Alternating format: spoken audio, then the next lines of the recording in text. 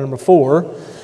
Matthew 4 this morning, and we will finish up Matthew chapter number 4.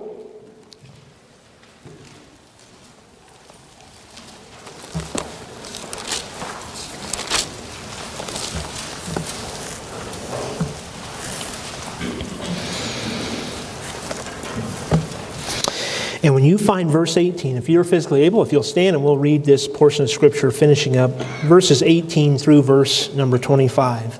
Again, the title of the message, and we're finishing up what we did and started a couple weeks ago, is just simply follower or disciple. There's a difference between a follower, just following along, or being a disciple of the Lord Jesus Christ. Look at verse 18, Matthew chapter number 4. Jesus, walking by the Sea of Galilee, saw two brethren, Simon called Peter, and Andrew his brother, casting a net into the sea, for they were fishers. And he said unto them, Follow me, and I will make you fishers of men. And they straightway left their nets and followed him. Straightway is a great word. It means like now. They didn't wait, they just immediately did it. Verse 21 And going on from thence, he saw other two brethren. James, the son of Zebedee, and John, his brother, in a ship with Zebedee, their father, mending their nets, and he called them. And they, another great word, immediately left the ship and their father and followed him. And Jesus went about all Galilee, teaching in their synagogues and preaching the gospel of the kingdom and healing all manner of sickness and all manner of disease among the people. And his fame went throughout all Syria. And they brought unto him all sick people that were taken with divers diseases and torments, and those which were possessed with devils, and those which were lunatic, and those that had the palsy, and he healed them. And there followed him great multitudes of people from Galilee, and from Decapolis, and from Jerusalem, and from Judea, and from beyond Jordan. Let's pray. Lord, again, thank you for this passage of Scripture. And Lord, we do ask that you'd help us to be able to discern the difference between just being a follower and truly being a disciple. Lord, you've made a difference. Uh, you've delineated a, difference in your word. Help us, please, to see it. Lord, forgive us for the times when we have gone other ways or other directions, when we failed to follow. We've went our own way. Lord, please help us. Thank you for loving us enough to draw us back. Lord, help us, please, to give our lives in discipleship. We're not talking about being crazy or hermits or any of those kinds of things. Lord, we're talking about engaging the world in which we live. And we'll thank you for the help that you give, and we love you. We ask it in Jesus' name. Amen. Thank you for standing. You may be seated. We mentioned as we opened this a couple of weeks ago and just got through the first uh, few verses here that there is a difference between being a follower, just following along and watching to see what happens. And if it works out, great, and then I'll continue following but one of the distinctions of a follower, and we read it as we go through the gospel message, in fact, throughout the entirety of the, the New Testament, is a follower is one that sees how it works, and then if it works out for them and it seems like, well, that's something I want to be a part of, then good and fine, and that's all well, and I'll continue to follow. But times don't always turn up roses, and there can be trouble and trial. And things don't work out like you and I always plan. And if we're just a follower, we can fall by the wayside and choose a different way or a different direction than what God is leading. But a disciple is there through thick and thin. Disciple understands who it is that has put a call on their life and realizes that what I'm leaving behind is not, it's not worthy of me going back to that occupation. It's not worthy of me taking that back up in place of being a disciple of the Lord Jesus Christ. That's certainly what we find these men doing in Andrew and Simon Peter and James and John. Now, were there times in Andrew's life and in Peter's life and in James's life and in John's life where they uh, didn't follow exactly how they should have? Yeah, yeah. In fact, we can get to the end of the book of John and we see Peter, and he says those words that you've probably heard several messages on I go a fishing. In other words, I'm going back to fishing. This isn't working out like I thought it would work out. This, this wasn't what I thought I was signing up for. But Jesus, in, in grace, meets Peter on the shore and invites him, calls him back to true discipleship. And so we see after the, the passage in John that we just referenced, we see just a, a few weeks later in Acts chapter number 2 that this man who said, I'm going back to fishing because I don't know what God is doing and I don't understand all of it, and it, because I don't understand, I'm just going back to something that I'm more comfortable with. We see him a couple of weeks later preaching a message with Holy Spirit power on the day of Pentecost, and thousands trusting Christ as their Savior as a result. There's a difference that God made in Peter's life. There's a difference that God made in Andrew's life, and in James's life, and in John's life. They weren't just followers anymore, they became disciples. And I want you to understand that this passage is coming. Now, don't let this blow your socks off, but this is Matthew chapter number 4. We're getting ready to get into Matthew chapter number Five. Good. Excellent. One of our teen young people was able to make that math equation. Four plus one is five. Beginning in Matthew chapter number five is one of the great passages in all the scripture. It is called the Sermon on the Mount. You want to know what discipling looks like or what a disciple is or does, you need to read Matthew chapter number 5, 6, and 7. You need to read what Jesus teaches on that mountainside. To those people who were following him at the time, he's going to teach them what a disciple really looks like. Here's how a disciple acts. Here, here's how a disciple thinks. Here's how a disciple speaks. Here's how a disciple behaves themselves. And so he's calling these men to be his disciples.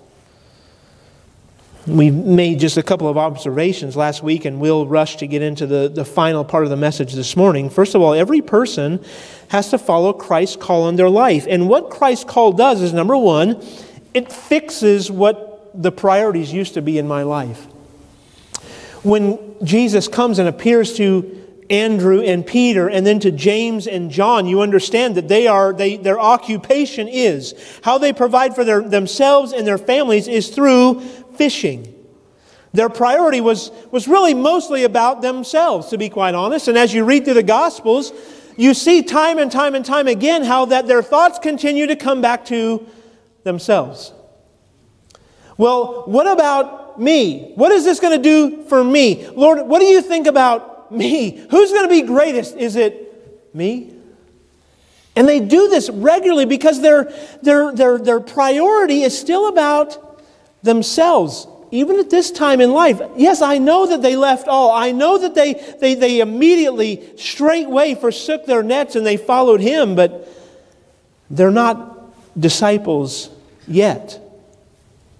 I know a lot of Christians like that who have forsaken a lot of different things, and those are all good things. And they've trusted in Christ as their personal Savior, but they're just still following. They're just still waiting to see how it turns out. They're still waiting to see if God does for them what they expect or think God should do for them in their life. Well, God said He'd never leave me and forsake me. God said He'd take care of me, and so I'm just, I'm waiting. I'm waiting to see. And if not, then I'll go to plan B and I'll take care of myself and I'll, I'll work for myself and I'll gain things to myself. By the way, we're going to talk about that tonight in the life of Solomon.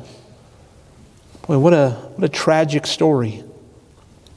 So these men understood, or they, they begin to understand, as, as Jesus walks with them and talks with them and teaches them, and then as they watch him be crucified and buried, and they, they, they don't know what's going on, and, and they, they see as he raises uh, from the dead, they, they begin to understand him more and more and more, and then the Holy Spirit comes and they become to be these disciples that Jesus is going to teach them about, going to tell them about, going to try to grow them to be.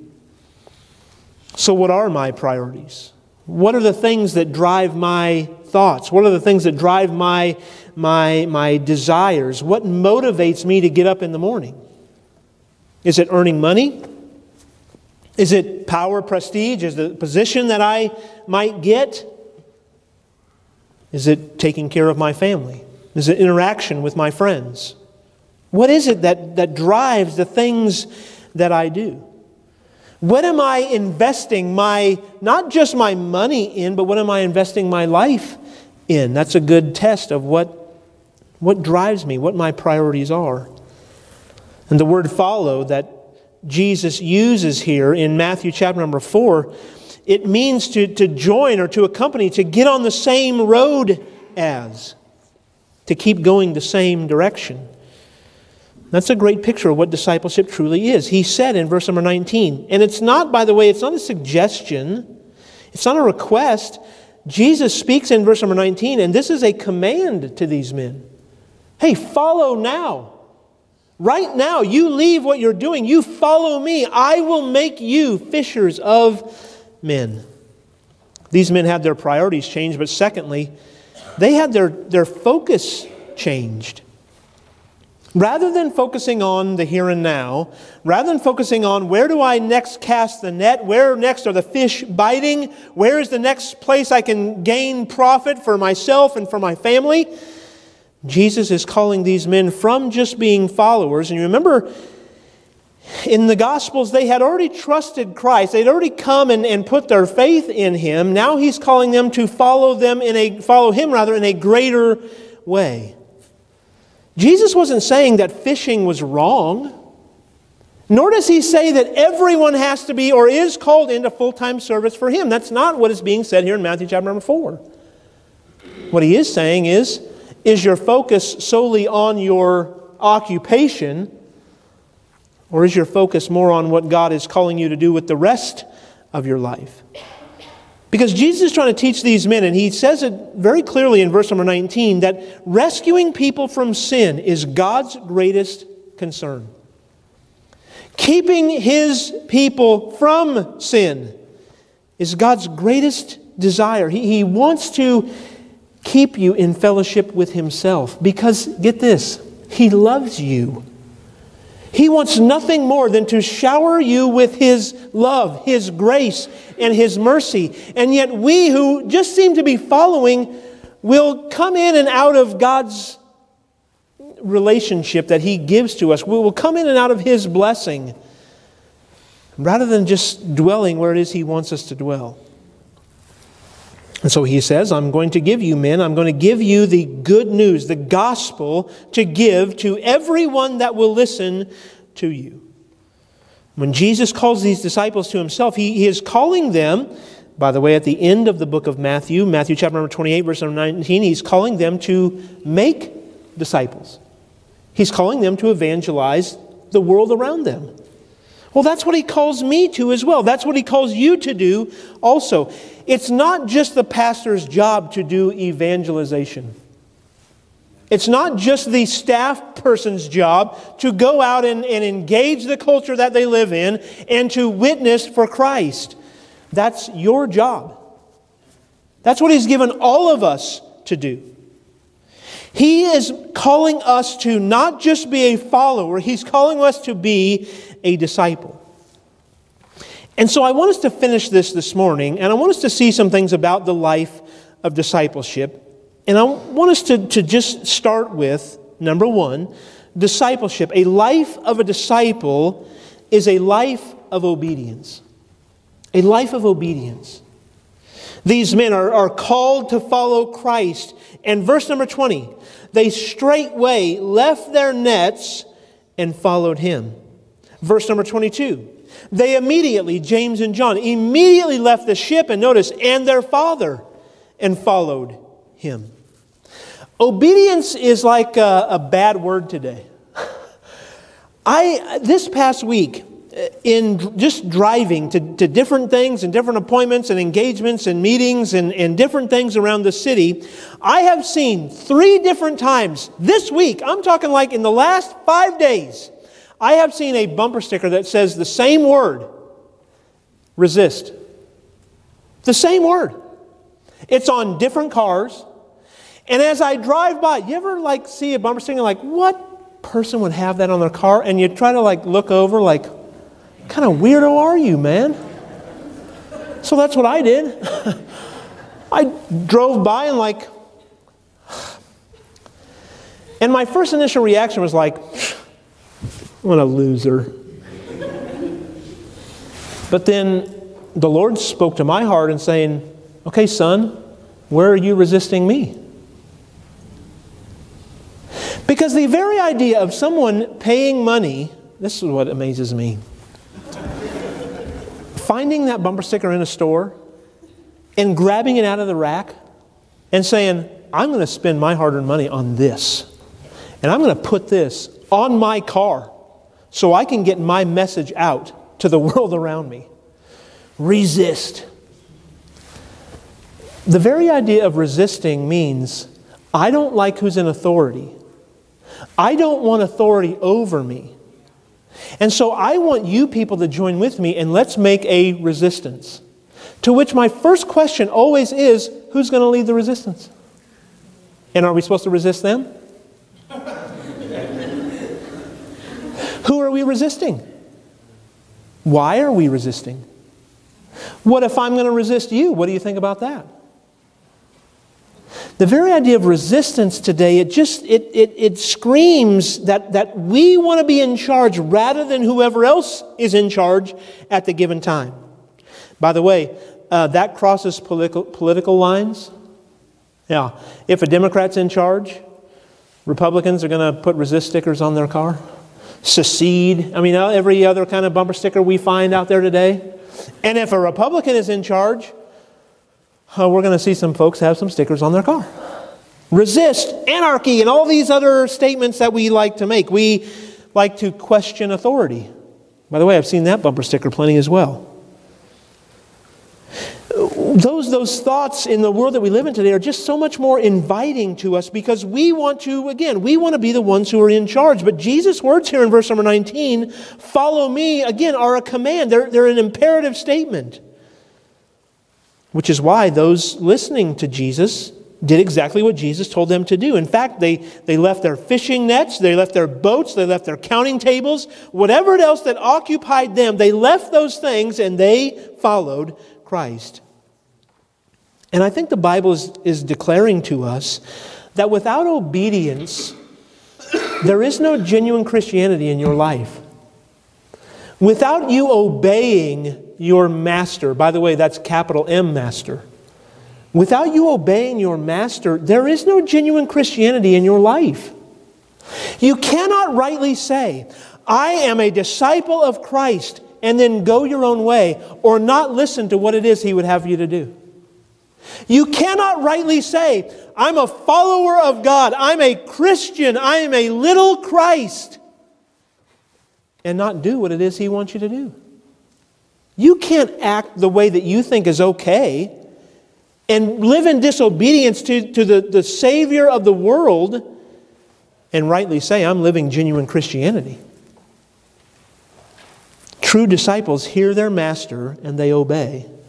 Discipleship, number one, is a life of obedience. Number two, discipleship for these men, discipleship for you and me, is a life, secondly, of repentance. Do you remember the message of John the Baptist preaching? In fact, if you don't, you can go left just a little bit to chapter number 3 and verse number 2. Matthew 3, look again, verse number 2. Just be reminded of the message that John was preaching. And saying, what's the first word?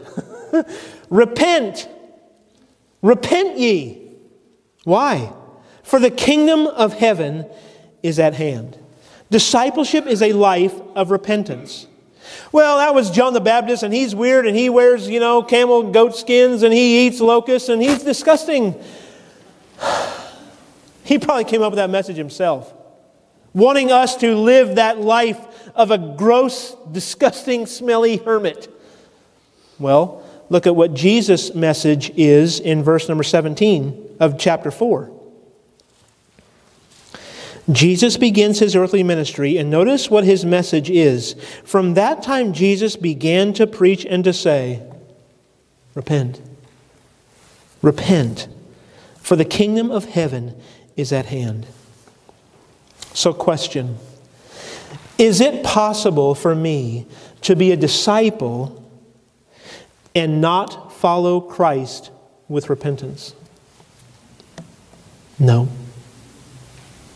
Now, see, I can follow along and, and see where God leads, but if I'm not repentant, that is, if I'm not having my mind changed, that the other way, that all other options are subservient, are lesser, are worse than the path that God has for me, I cannot be a disciple. I cannot stick one foot in following God and keep one foot in following myself, or one foot in, let me see how it works out, and if not, I've got another plan. I can't do that and be called a disciple. A life of discipleship, the life of a disciple is found not only by obedience, but secondly, by repentance. It is impossible to follow Christ without repentance. By the way, it's impossible for you and I to be saved without repentance. We're not talking about you working to gain God's grace. That's not what repentance is. We're not talking about a work salvation. We're talking about my mind being changed and understanding that the way I was going was the way of destruction and sinf- sinfulness, excuse me, and the way of God is trust and obedience. Jesus is the holy, sinless Son of God. He's never taken one step, not, not one step in any sinful direction. He's never had a sinful thought enter into his mind. Anyone who is following him, therefore, must by definition turn their back to sin and set their face toward righteousness. That's being a disciple not going in the way of sin anymore, not saying foul language like I used to say, not engaging in activities I used to engage in, not going in some places I used to go, not hanging around with some people I used to hang out with. But forsaking those, leaving those, and following after God. That's the life of a disciple. Now, should I still have a witness and testimony to those I am leaving behind? You better believe that I should. By the way, I'm doing wrong if I just turn my back and leave them to a Christless eternity. That's not being a disciple either. God in, in Christ is not calling these men to simply leave everything that they've ever known. No, He says, Follow me, and I will make you what? Fishers of men. You won't turn from men, you'll look to them to try to draw them to me. You'll introduce them to who I am and what I want to do in their life. So when Christians sin, and Christians do sin, you sin, sinners. When you sin, the very next thing I should do is confess that to God. Agree with God about it. Lord, I have sinned. Confess it. Turn from it and be restored back to fellowship with Him. Great old commentator said this Anyone who thinks they can follow Christ without renouncing sin is at best sorely confused. Discipleship is a life of obedience. Discipleship is a life of repentance. Third, discipleship is a life of submission. Jesus is going to teach these disciples wonderful lessons about discipleship, and he's going to use the illustration in one instance of a yoke. It suggests submission to Christ for work that he has assigned. You remember, he says, Take my yoke upon you. In other words, you don't just get to skate scot free, there's work to be done. So join in the yoke. And the idea of a yoke is I'm together with this other ox. It's me and the other ox in the yoke, and we're pulling together. However, do you know when I'm a disciple who's on the other side of the yoke? It's not another Christian. I don't join up with another Christian and let's do the best that we possibly can, brother or sister. No. The other person in the yoke is Jesus Christ. Take my yoke upon you. Well, if Jesus is on the other side of the yoke, I'm just kind of like feet dangling. Because he is He's guiding, He's directing. He's the source of power. I'm not adding any power to this work that's being accomplished. It's all His work. He asks me to be obedient and come alongside Him. And then what He wants to do with me is He wants to use me as the instrument to get the message to the world around me. It's His yoke. He gives the power and the strength and the ability. He just says, Be faithful. Live in submission. The very idea of me being in a yoke is me being one of submission. If you've worked with horses, you know what a wild Mustang is. A wild Mustang has to be broken. That's the idea. When it's broken, it's not um, boy, we use the word meekness. It's a great Bible word, and you've probably heard this explanation before, but it's just good to be reminded of. Meekness is not weakness, meekness is power under control. And so that horse, that by the way could take your life if it wanted to, as a wild stallion, when it's broken, becomes power under control. And so now I pull on the rein a little bit, and it turns that way. And I pull on the rein this way, and it turns that way. And I tell it to giddy up, and that thing takes off. It's power under control. Submission is using the talents and gifts that and abilities God has given to me under submission, not for my own will and way, but for God's will and way. And the very word submission means to be placed under the authority of another. And so these men who were used to being their own boss, Andrew, Peter, James, John, they had to learn what it means to be placed under a much higher authority, authority with a capital A. And you see them in Luke chapter number 5. And you don't have to turn there for sake of time, but you see them in Luke chapter number 5. What are they? They're fishermen. And they are in the boat all night casting their net. Jesus comes along. You catch anything? We've been out here all night. We haven't cast anything. Cast your net on the other side of the boat. Now, we're not talking a yacht, we're talking a small boat. Like, here's one side of the boat, here's the other side of the boat. Cast your net on that side of the boat.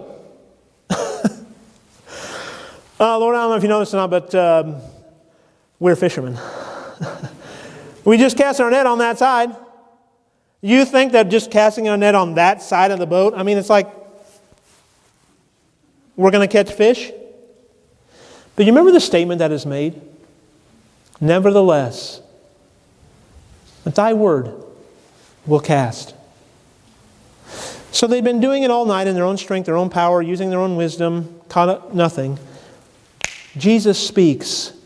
And because they submitted themselves and obeyed, Christ knew exactly where the fish were. And they throw their net. And you remember the result? They can't even bring it into the boat. There's so many. I use that illustration all the time in talking about simple soul winning. See, it's not my job to say, you're not saved, you can't be saved, I don't know that you can be, and, and say, well, they won't receive it, they won't get it, they'll tell me to get away. That's not my responsibility. My responsibility is to go find the fish who God's been working on their heart. And I cast my net in different spots. And Jesus says, cast your net here, and that's what I do.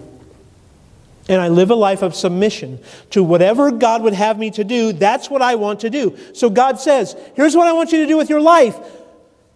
Okay, but Lord, I'm already established in this. I'm already doing this. I mean, what, what are you talking about? I want you to follow me. Well, Lord, that means a total life change. I want you to follow me. If I'm not found following, I cannot call myself a disciple. Discipleship is a life of submission. They had done what they knew best, but yet God speaks, and when they finally obey, God brings the blessing. You want to be a disciple? Great. It's going to mean obedience, it's going to mean repentance, it's going to mean submission. Fourth, discipleship is a life of trust.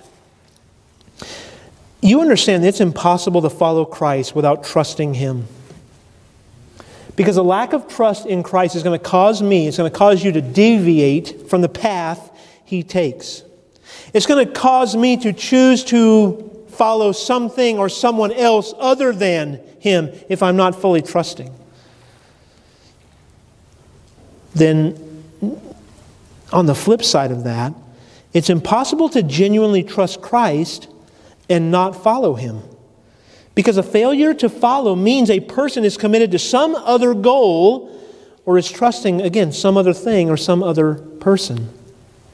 Discipleship is a life of faith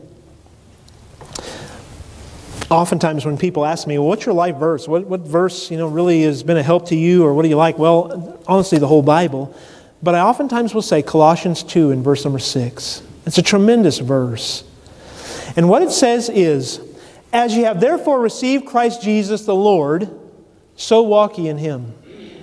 So, how do I receive Christ Jesus the Lord? Well, I do that by faith.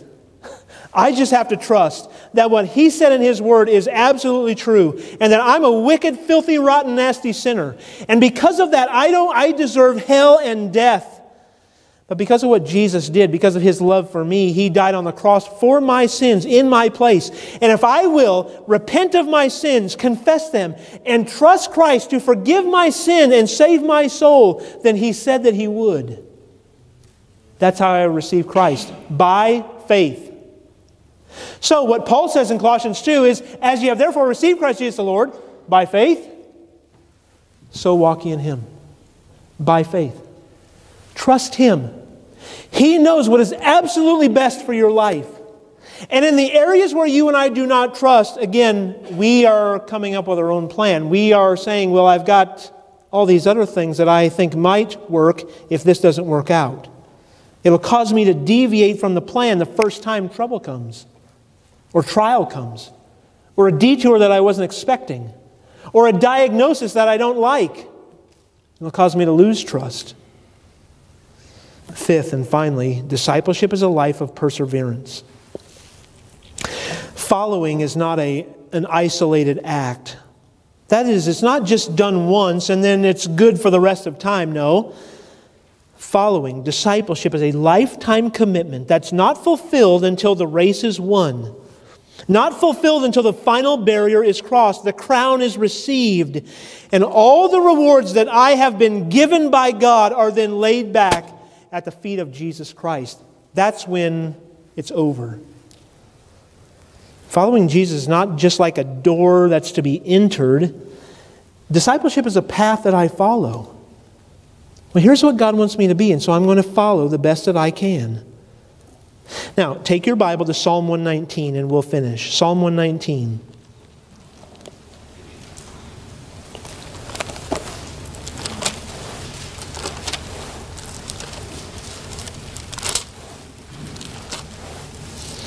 Look at verse 105.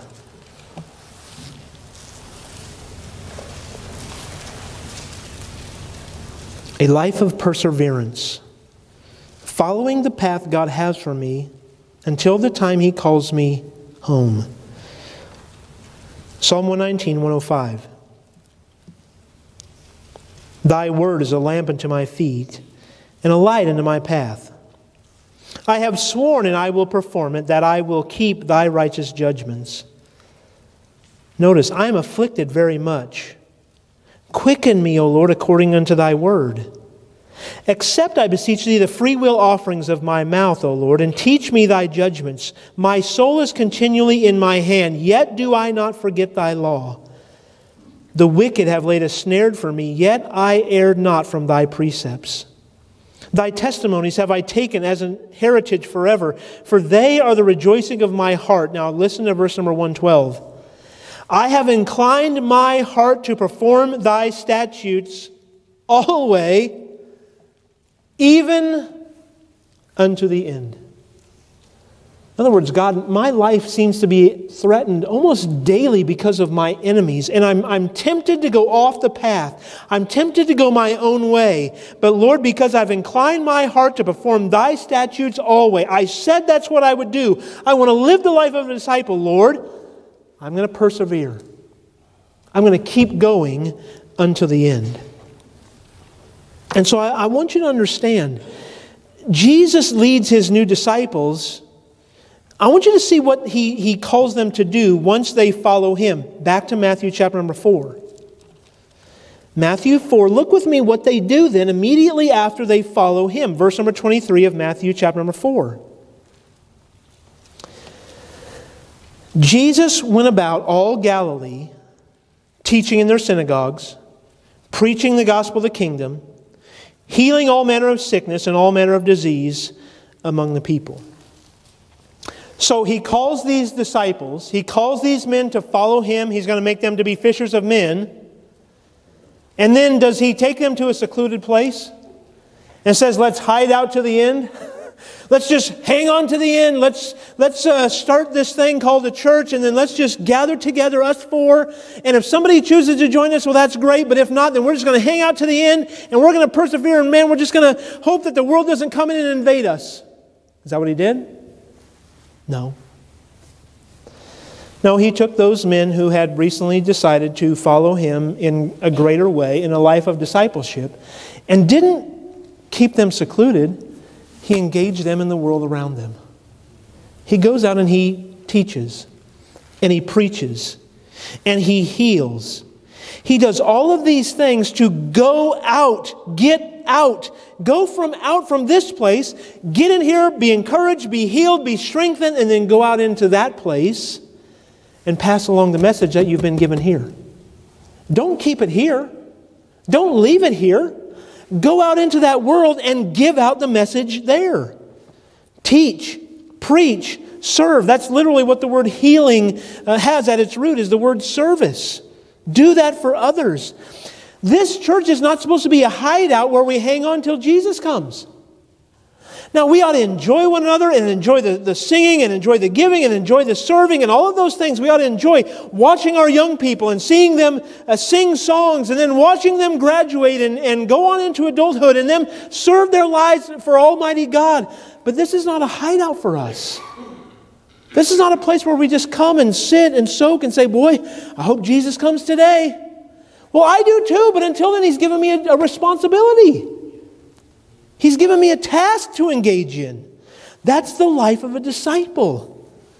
Giving the gospel, the get this now, hold on to your hats, the good news. Good news. Not bad news. Good news of the gospel, what he has, can do in the life of every person that will come to him for forgiveness and for eternal life. What does it take to be a disciple? Oh, just obedience and repentance and submission and trust and just perseverance. Well, that sounds hard. Well, he never said it was going to be necessarily easy, but he gives strength for the day. He gives you power to do each of those things. And we started with this message that there's a difference between that person who follows and one who is truly a disciple. Now, look at verse number 25 of Matthew chapter number 4. He's called Andrew, Peter, James, John. They've left all and they've followed.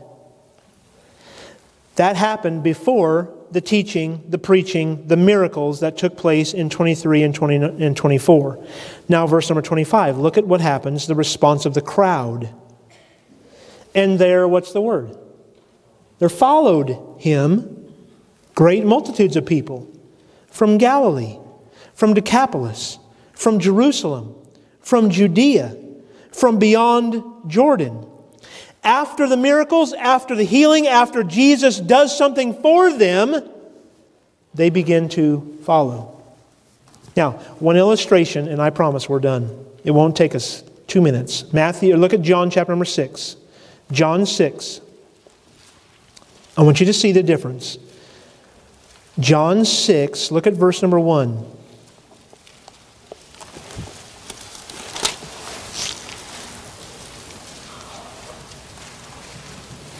This is a parallel time, all right, right in here. Verse number 1, chapter 6. After these things, Jesus went over the Sea of Galilee, which is in the Sea of Tiberias, and a great multitude, notice, followed him. Because, notice why they followed. Because they saw his miracles which he did on them that were diseased. And Jesus went up into a mountain, and there sat he with his, notice a different word, disciples. Now, what happens in between here is five loaves and two fishes. Hey, what are we going to do to feed these people? Well, we're going to take a little boy's lunch and we're going to multiply it and use it, and everybody's going to get to eat. Well, when you feed people, guess what happens? They come. Some of the biggest days in church are, man, we're going to have a free chicken dinner. Oh, man, I feel good. I think I can get to church now. well, the same thing happened in the life of Christ. Look at verse number 15, John 6. When Jesus therefore perceived that they would come and take him by force, now notice, this is the multitude that had followed, that was, man, we can't believe all that you've done. And notice what their purpose was to make him a king. In other words, an earthly king, dethrone Rome, bring us into the promise God's given to us. It's not that time yet. When he saw that they were going to make him a king, he departed again into a mountain himself alone. He sends his disciples out. A storm comes onto the Sea of Galilee. Look at verse number 22 the day following. Jesus goes out to them. He says, Be not afraid. The day following, when the people which stood on the other side of the sea saw that there was none other boat there, save the one whereas his disciples were entered, and that Jesus went not with his disciples into the boat, but that his disciples were gone away alone. Howbeit there came other boats from Tiberias, nigh unto the place where they did eat bread after that the Lord had given them thanks. In other words, the word spread. We're going to come back to where Jesus fed everybody. Then we want to see it happen again. When the people therefore saw that Jesus was not there, neither his disciples, they also took shipping and came to Capernaum seeking for Jesus. And when they had found him on the other side of the sea, they said unto him, Rabbi, when camest thou hither? Jesus answered them and said, Verily, verily, I say unto you, ye seek me, but not because ye saw the miracles, but because ye did eat of the loaves and were filled. Labor not for the meat which perisheth, but for that meat which endureth unto everlasting life, which the Son of Man shall give unto you, for him hath God the Father sealed. Beginning in verse number 28, he begins to teach them about who he really is and what he really is going to do in their life. And there's some difficult things that he says. Well, notice verse number 66 then of John 6. Verse 66.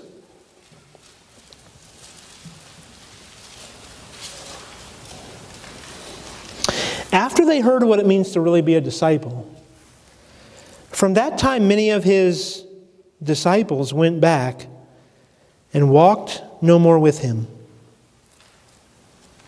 So then, verse 67 Then said Jesus unto the twelve, But we had multitudes, multitudes following. There's 12 left. So Jesus says to the 12, Will ye also go away? Then Simon Peter answered him, What's the word? Lord. Lord. That's the word of a disciple. Lord, I'm under your authority. Lord, I'm trying to live in submission to you. I can't rightly call him Lord unless I'm doing those things. Lord, to whom shall we go? Thou hast the words of eternal life. And we believe. And I love this. And are, what's the word? Sure. we believe and are sure that thou art that Christ, the Son of the living God. Peter got it right. He's beginning to learn what it means to be a disciple. Is it always going to work out the way that you want? Unfortunately, no. But on the same coin, fortunately, no. It's not always going to work out like you think because you don't know everything. You don't know what's best. You don't know the life Christ is calling you to. You don't know the blessings and the rewards He wants to give to you if you'll just simply follow. So, the question then is will you follow? Not just follow to see how it works out, but will you be a disciple? Because in beginning next week in Matthew chapter number 5, you and I are going to learn what a disciple really looks like. And it might be a little bit different than what we originally had in mind. So, will you be a disciple? Don't just be a follower, be a disciple. Let's pray. Lord, thank you very much for the day. Thank you for grace and mercy and love. Lord, we're grateful for the life that you have called us to. It's not a life of just going our own way, doing our own thing. It's a life of a disciple. So, Lord, please help us understand discipleship looks an awful lot like submission, looks an awful lot like humility, looks an awful lot like a life of trust and faith. It's, it's characterized by a life of perseverance. Lord, please help us to be found in those things, not looking for plan B, not waiting to see how everything works out and then coming up with our own way. Lord, help us not to just follow because of what you do for us. Help us to follow because of who you are. And we'll be very careful to thank you for it. Heads are bowed, eyes are closed. I want to give you opportunity. I don't want to embarrass anyone. I want to pray for you. If you're here today and you don't know for sure that your sins are forgiven, you don't know that if you were to die today, or if the Lord was to come back today, you don't know why you should go into heaven. By the way, it's not because you're a good person. It's not because you earn it. It is only because the gift that Christ wants to give to every person, that's the gift of eternal life. But you have to accept the gift. You can't get there because grandmother or mom or dad, because you grew up in church. You can't do it because of that. You can only do it because you admit your sin. You agree with God about it, you confess it, and you trust Him for forgiveness and for life. Heads about eyes are closed. You just lift your hand long enough for me to see it. Preacher, you pray for me. I don't remember ever doing that in my life personally. I don't remember a time when I've ever trusted Christ as my personal Savior and asked Him to save me. Anyone at all, you just lift your hand long enough for me to see it, put it right back down. Preacher, you pray. I don't remember ever doing that. I don't know that I've done that. Anyone at all, you just lift your hand long enough for me to see it, put it right back down. Preacher, would you pray for me? Anyone at all? All right then. I didn't see one hand raised. So, by your confession, you're saying, I've done that and I know it. Are you living your life for self? Are you a follower?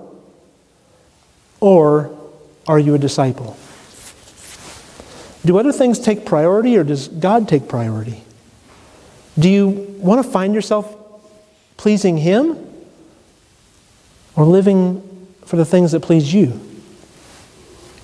I'm telling you, God's calling us to a life of discipleship, a life to please Him. And if you're not found there, then guess what? Today, you can confess that and ask for His help to do it. He wants to help you to do it. He's saying to you, Follow me. Follow me. I'll make you to be a fisher of men. In just a moment, we're going to pray. We'll stand to our feet. The Lord speaks to your heart. You need to come. Obey the Lord and come. Whether you raised your hand, whether you didn't, whether that's for salvation or questions about joining the church or being baptized, any of those things, we're inviting you to come. Now, Lord, please help during the time of invitation. Help these people. They're yours. Lord, they said they're saved. They, they didn't raise their hands. They believe that they trusted Christ. If there's somebody here that hasn't, then Lord, help them to understand their sinfulness and yet the free gift you want to give to them. Help them to get that settled today. Lord, if they are saved, then help us, please, all of us, to not live life for self, but for you. Help us to be found being disciples. And we'll thank you for it. In Jesus' name we pray. Amen. Let's stand to our feet. The Lord speaks as the piano begins to play.